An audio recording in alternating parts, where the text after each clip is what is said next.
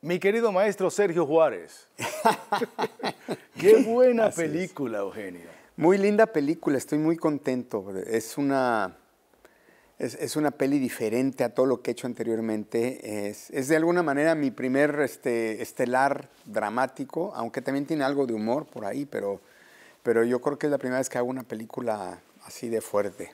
Muy linda película. Yo ya me adelanté y vi la película, también la sinopsis, pero cuéntale a nuestros televidentes de qué se trata. Pues Radical es la historia de un maestro, eh, es una historia real, está basada en un hecho real, en una historia, en una historia real, eh, de un maestro que sin tener nada, sin tener ningún recurso, en uno de los lugares más complicados en México, logra eh, sacar adelante a sus alumnos y cambiarles la vida al grado de que todo, toda esa clase, bueno, eh, toda clase llega a ser la número uno, digamos, a nivel nacional.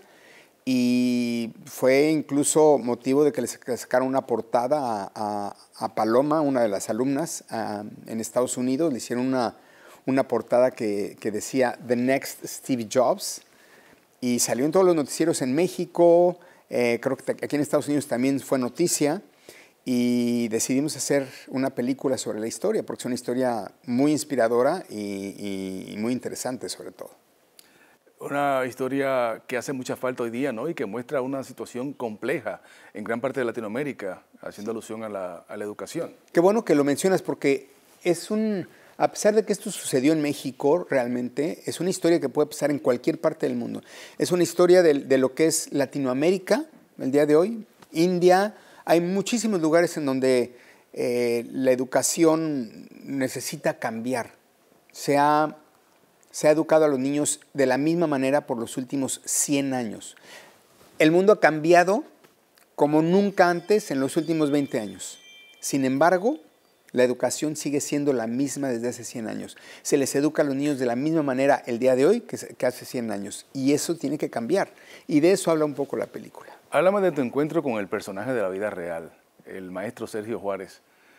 Imagino que, indagaste, conversaste con él para, para que se pareciera lo más posible tu personaje al de la vida real. Totalmente. Mira, cuando uno le toca interpretar a, alguien que existió es difícil, pero cuando te toca interpretar a alguien que está vivo y además que fue al set, porque estuvo ahí en el set, de repente un día, llegan y me dicen, oye, eh, ya llegó Sergio, el maestro.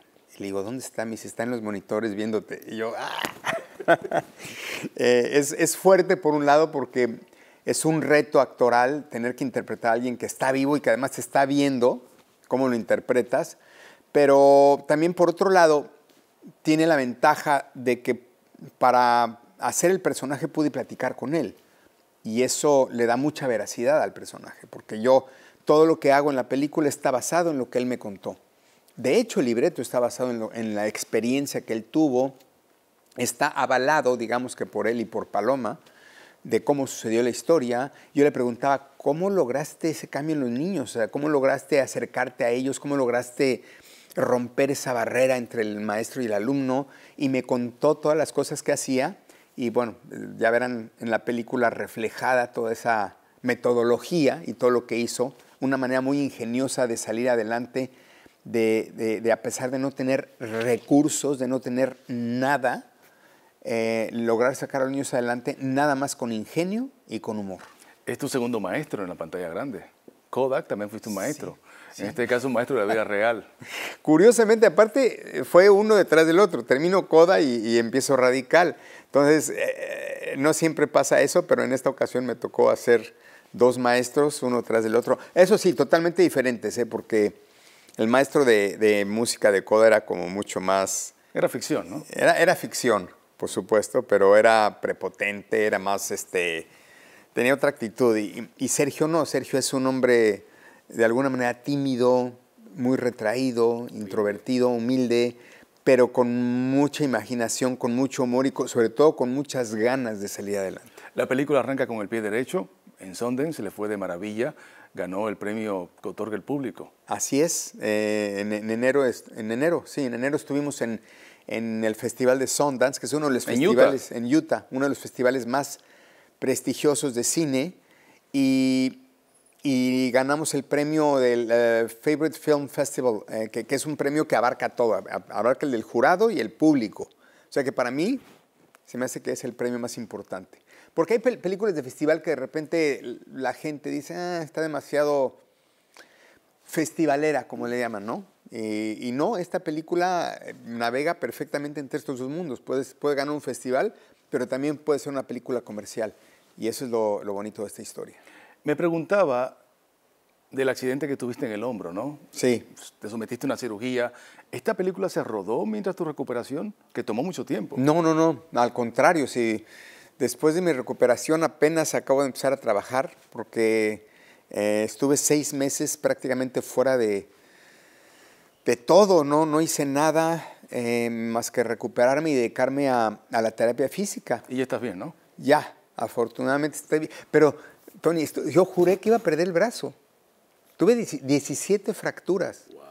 Me dijo el doctor, que fue uno de los doctores más, con más experiencia en este tipo de fracturas en todo Estados Unidos, pero me dijo, "Mm, pocas veces me ha tocado ver una, una lesión así de fuerte y me dice, no sé si vaya a lograr este, re- reponer lo que está ahí roto y si no voy a tener que cortar y ponerte un hombro de reemplazo con el peligro de que lo rechace tu cuerpo. Entonces yo ya me imaginaba la- las peores escenarios y este, pero no, afortunadamente tuvo la, traigo aquí una cantidad de clavos y de placas que no te puedes imaginar. Bueno, quizás a lo mejor te estás preparando para una versión en cine del hombre nuclear. Steve Austin. Steve Austin, tengo que, mi brazo biónico. Mucha gente se asombra de ver a Eugenio ahora eh, dramático, ¿no? Pero lo que no saben es que tú comenzaste de niño en los años 70 como eh, extra en novelas. Sí, Dramático. Es- es- yo quería ser actor. Yo toda mi vida quise ser actor dramático porque mi mamá, doña Silvia Derbez, era la reina de las telenovelas, ¿no? Mamá Campanita, María Isabel, Cruz de Amor. En fin, ah, hubo mil novelas de ella em, y, y- y yo quería ser como ella. Yo quería ser actor dramático, pero lo intenté durante muchísimos años. Yo creo que empecé a hacer novelas desde, mi primera novela la hice a los 12 años. Ya tú sabes. ¿Cuál fue Mundo los- de Juguetes? o qué? Mundo de Juguetes. Mundo de juguete. Por ahí también anduve metido. Siempre andaba yo queriendo participar en alguna telenovela y nunca pasó nada con mi carrera en telenovelas. Hice muchas telenovelas y nadie se acuerda de mí porque pues no, no pasaba nada en las novelas. Hasta que entro en la comedia es cuando empiezo a despegar y, y empieza mi carrera a cambiar. Pero hice novelas desde los 12 años hasta los 26 más o menos. Y si no se acuerda de esa etapa de Eugenio, pregúntele. Pregúntame, compré. Llegas a Hollywood como comediante. ¿Estamos perdiendo al comediante por el actor dramático? ¿Te prefiere más Hollywood como dramático que comediante?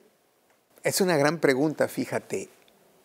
Te voy a decir dos cosas. No creo dejar la comedia porque a mí en lo personal me encanta y creo que es mi lugar donde me siento más cómodo y donde creo que la gente me quiere más. Eh, pero me gusta el, el- poder de repente hacer una película diferente, con un toque dramático. Eh, me pasó con Coda, por ejemplo, con Coda noté que inmediatamente eh, cuando haces drama te invitan a otro tipo de festivales, a otro tipo de eventos. Ganó el Oscar. Difícilmente una comedia, por muy buena que sea la comedia, difícilmente siquiera está nominada a un Oscar, ¿me explico? ¿Crees que eso debe cambiar? Yo creo que sí. Y me da mucho gusto que ahorita, este año es la primera vez que los Golden Globes eh, eh, acaban de meter una categoría de, de stand-up, mejor comediante en stand-up, y creo que es mejor película comercial. Y es que es justo, o sea, creo que también el cine, la comedia o el cine comercial tiene un, un mérito. Y a veces mm, únicamente se dedican a las películas que tienen arte, pero no, la- no a las que son a, a las que tienen comedia o a las que son exitosas en taquilla. Así es que eh, yo creo que por eso comediantes como Tom Hanks, como Jim Carrey, como Robin Williams, en algún momento dado dejaron la comedia para pasar al drama, porque sientes como comediante que, que no hay el reconocimiento que se le debe dar a la comedia. En la comedia es mucho más difícil Más que el difícil. drama. Y sin embargo, la ven así como, ah, es una comedia. Y en cambio haces drama y ganas premios y, se te abre otro. Lo, lo, sentí yo con Coda y fui a eventos que dije, nunca me habían invitado a este tipo de eventos porque ahora estoy haciendo una película mucho más dramática. Entonces, sí creo que hay que cambiar eso. ¿Vislumbras nominación al Golden Globe, Oscar con esta película? Pues mira, yo no quiero este, futurear, pero pues lo que caiga será bienvenido, pero no quiero, no quiero salarla ni, ni tener falsas esperanzas. Pero ojalá, ojalá, creo que tiene muchas posibilidades de, de ganar premios porque es una película de verdad muy, muy completa, muy linda y sobre todo que trata de un tema que creo que le hace falta al mundo. Es una película que el mundo tiene que ver para empezar a cambiar. Eugenio, te he ido de maravilla, eres indetenible. ¿Qué piensas tú que diría tu mamá, doña Silvia Derbez, de todo lo que te está pasando? Uy, ¿qué te puedo decir? Mi mamá era mi, mamá era mi, mi, mi cómplice, mi maestra, mi fan también, cada vez que acababa uno de mis programas, me marcaba. Siempre los veía al aire. Era la única que sentaba y los veía al aire y, me marcaba acabando el programa. Me decía, hijo, me gustó esto, no me gustó el otro, ya no vuelvas a hacer esto, esto sí, vuelvo a hacer. Eh, era, era mi brazo derecho eh, y, mi guía, de alguna manera.